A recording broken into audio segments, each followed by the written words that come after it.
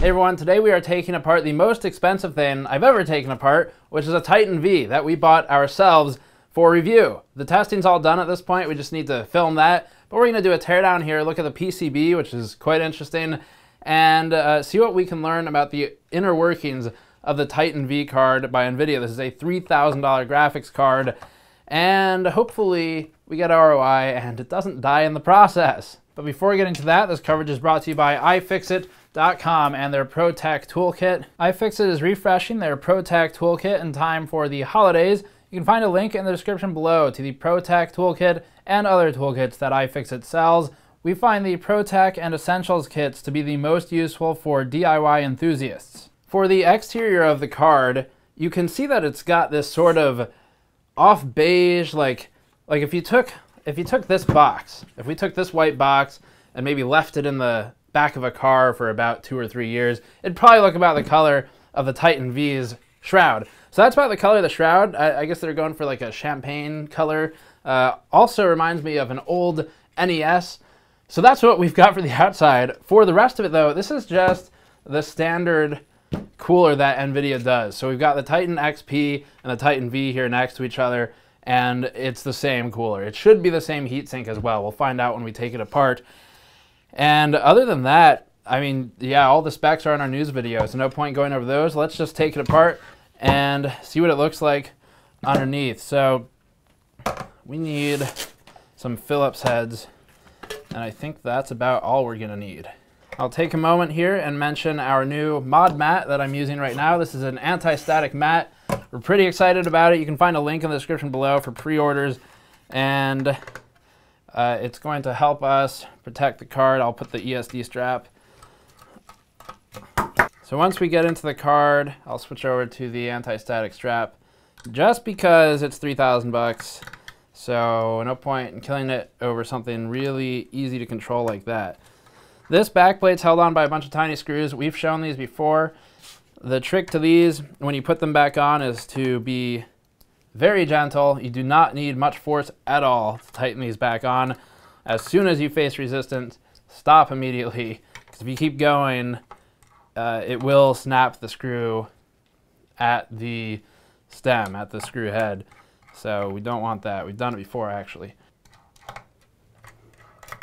All right, so this is the same as all the Founders Edition cards and front, or well, Founders Edition, not Frontier Edition. All the Founders Edition cards are built this way.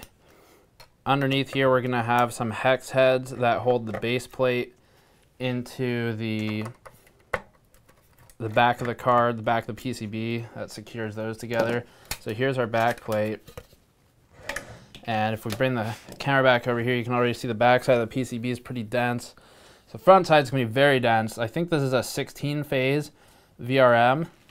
So this is going to be a pretty healthy sized VRM. It'll take up most of the board height vertically.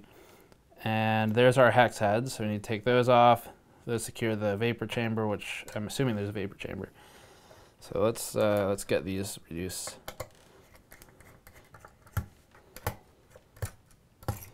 These hold the base plate in.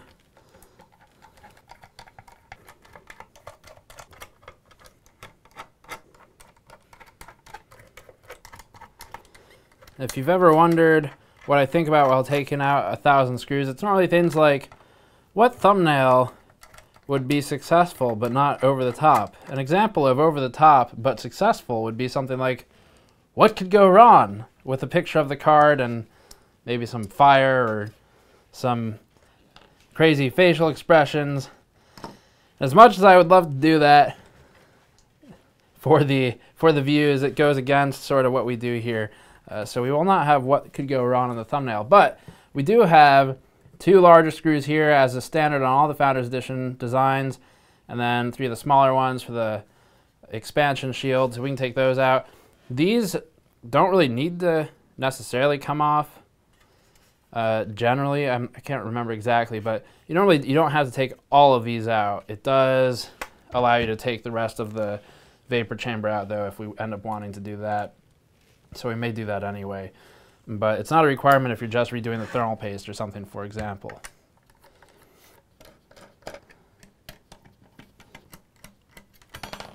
Okay, cool.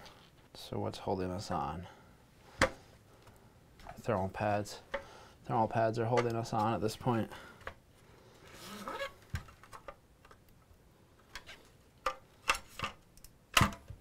Holy crap, that is so much thermal paste. So uh, yeah, fan connector over here is what we just disconnected. We have 1 by 8 1 by 6 connectors. There will only be this version of the card. Uh, there's not going to be board partner version, so this is everything you'll see. And let's clean off the insane amount of thermal paste and just get an idea for what the HBM and the die look like together. So we were doing some thermals earlier, and uh, this cooler is not the best in the world. We've talked about this cooler on all the Founders Edition cards, and this particular GPU does not only draw a lot of power, but it's got HBM around it drawing power. And the thermal paste here, just to kind of be clear, it's not bad that there's a lot of it. There's just a lot of it because there's a lot of surface area to cover because you've got HBM and the GPU, and hopefully we can illustrate that once we clean it off. So like Vega, this card, and like the V100, which came out first and had HBM, this card also has HBM. So the V100 was a uh, an enterprise solution, $10,000 developer kit that came with the first Volta GPU, and this is a $3,000 variant. The goal of this card is not gaming. Uh, Volta will probably go that direction soon, but it is actually things like machine learning. And so HBM is beneficial in that space particularly, and the extra cost really doesn't matter when you're dealing with people who have a lot of money to do things like machine learning because getting it done faster, uh, of course, will help pay it off. Whereas just gaming, you don't really don't really care. You just need it to be affordable. So you can see the four uh, HBM modules on there. All four of them flank the GPU proper. The GPU and the HBM modules are all on the substrate together. So they have a very short distance to communicate, which is one of the benefits of HBM. It's also got a 3072-bit wide memory bus, if memory serves. And uh, that's another part of the reason bandwidth on this card is pretty high compared to what we typically see with NVIDIA GPUs. This should be clean enough for now. We don't really need to get the stuff out of the corners uh, and risk scratching capacitors or things like that. But that's uh, so that's the Titan V GPU, the proper GPU. This is a Taiwan-made one. It is called GV100, so that's known. Dash 400, that's new. Uh, and it's an A1 rev, which means it's one of the, the first production rev, basically. And the spacing you see between the HBM is effectively uh, an epoxy resin that brings the surface of the interposer all level up with the HBM and the GPU. So we actually can't see the interposer right now. It's underneath that epoxy resin. Uh, it's a protecting layer. If you, interposers are actually very fragile. If I were to do what I'm doing right now, just with my fingernail cleaning paste out, you do that to an interposer that's exposed, you can actually kill it. And uh, that kills your GPU. But this has the epoxy resin layer that should help out a bit and prevent any concerns on that front. So there's our GPU all shiny. This is about a truckload of thermal paste. You could do multiple i9 CPUs with this. Man, look at that. Again, that's not like, it's not a bad thing. It's a lot of surface area to cover, but it's just kind of amusing. Actually, with, with GPUs, it, with CPUs, there's kind of a limit on the IHS to how much compound you can put before you're actually making performance worse. With GPUs, that's not really the case. It's not, it's just exposed. There's no IHS to worry about. The more paste you get in there, uh, like the if there's access, it'll come out the side, so it's okay. Uh, so let's get a look at the PCB. We'll come back to the cooler. The PCB is going to be a bit of work here because there's a lot of thermal pads. Uh, and we need to kind of be careful removing them. I have spares I can put back on in their place, but that's working surprisingly very well, actually. These are kind of like a cloth thermal pad. I've removed them by hand before, and they're very easy to destroy. They just kind of fray if you use your fingernails. So you need a really thin tool to get in there and get those off. We've successfully removed that. Let's just put that to the side right now. Put that back on there later. Might as well get some of these others off. Oh, actually, is this more VRM over here? This is more VRM over here. So we have VRM over here, and we have part of the VRM over here. It's pretty interesting. This is what you would, it's, it's getting pretty close to optimal VRM design because if you think of the Vega cards, the reference Vega boards, those had that L-shaped VRM that came like this. And that's also a very good design. They get the VRM components closer to the core. It allows for a more consistent voltage and power throughput across uh, the entire GPU. And it also reduces propagation delays. Uh, so this would be a continuation of that idea of getting a more optimal VRM layout. Now the reason they can do this on both AMD Vega and the new NVIDIA test, or uh, Titan V100, or Titan V rather, with a V100, is because there's no GDDR. So we're not surrounding the GPU with all that stuff. We can surround it with the VRM instead. So we've got that uncovered. We'll look at the, uh, the names in a moment. Let's see if we can find the voltage controller. Make sure it's not on the back first. It's where you can really see that fabric, the sort of almost canvas weave coming out of the sides of these thermal pads. These are really thin. They're woven. Uh, they, because they are pretty thin, you have less concern of thermal resistivity, uh, sort of optimization issues that you would have with thicker pads. As long as they still contact what they're trying to contact, you're good. All right, that's pretty much everything. So first of all, what are we leaving room for here? That's just just uh, cutouts. That's all we're seeing here. Now this sort of gloss, uh, this plate, although it is aluminum, is not going to do a lot for you. We've got a gloss, a sort of vinyl coating type thing here, and that's to prevent any electrical shorts to the plate or to any other objects in the vicinity. So that's not helping us with thermals at all. Uh, and it's not really necessarily meant to. You get some direct contact in these channels here, but it doesn't do a whole lot. It's primarily cosmetic. And we've tested that before with thermocouples on the backside and everything. So let's look at the VRM core components. So we have a 16 phase as advertised. It's going to be doubled in some capacity. Uh, we'll have BuildZoid analyze the specifics. Actually, we've got a couple more phases over here probably for memory. So we'll have BuildZoid analyze the specifics of the VRM, but layout, core layout is uh, 16 phase, and then we've got another setup, another one over here, another phase over there.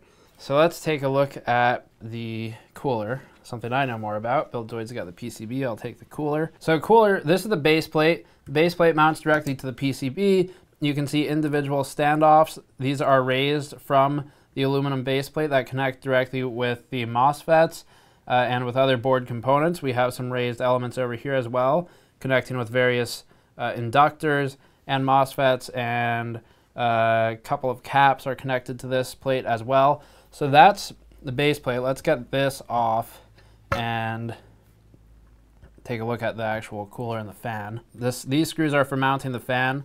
So if we remove that, the fan will come loose, but we can't get at it right now anyway, so might as well wait for that. What size is that? 2.5 over here. So that's a 2.5. That's a 2. Okay, so a 2.5 and a 2.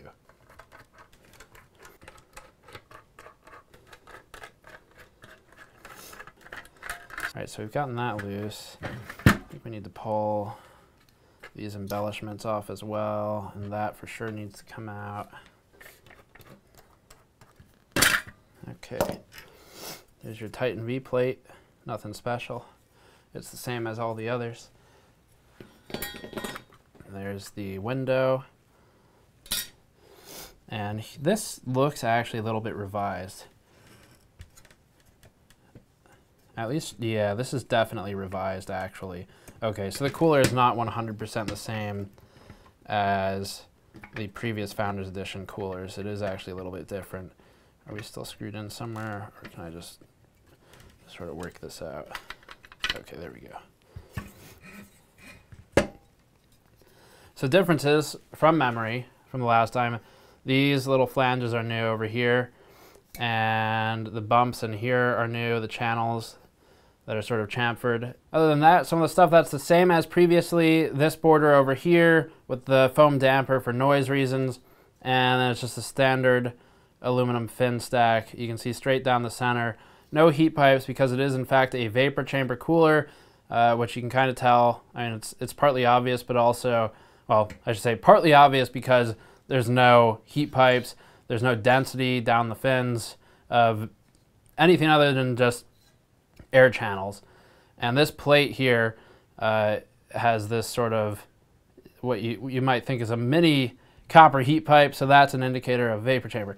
So that's our cooling block. It is a little revised from previously, but not a whole lot. And other than that, you're left with this, which is the blower fan, standard radial fan, uh, and I guess we could get the ratings on that if we wanted to take that apart too. But that would require removing all this stuff. And it's going to be the same as all the previous fans from NVIDIA. So, uh, so that's basically the Titan V. There's not much left to take apart here. So I think what we are left with at this point is a PCB that needs analysis. So this will be looked at by BuildZoid on our channel. You can subscribe to make sure you catch that content when it goes up. BuildZoid is going to be doing a full analysis of the VRM and its capabilities. He has quite a few curiosities about the power uh, potential limitations on this board and GPU, or at least on the GPU. And uh, we've got some notes on that as well. So make sure you check back. Our game benchmarks will be up first. After the game benchmarks, we intend to be posting some uh, production level benchmarks thermals, power, noise, all that stuff. So that's all for this time. If you like the mod mat that we made, you can pre-order it if you go to store.gamersnexus.net slash modmat, one word. Or if you want to help us out directly, you can go to patreon.com slash gamersnexus. Thank you for watching. I'll see you all next time.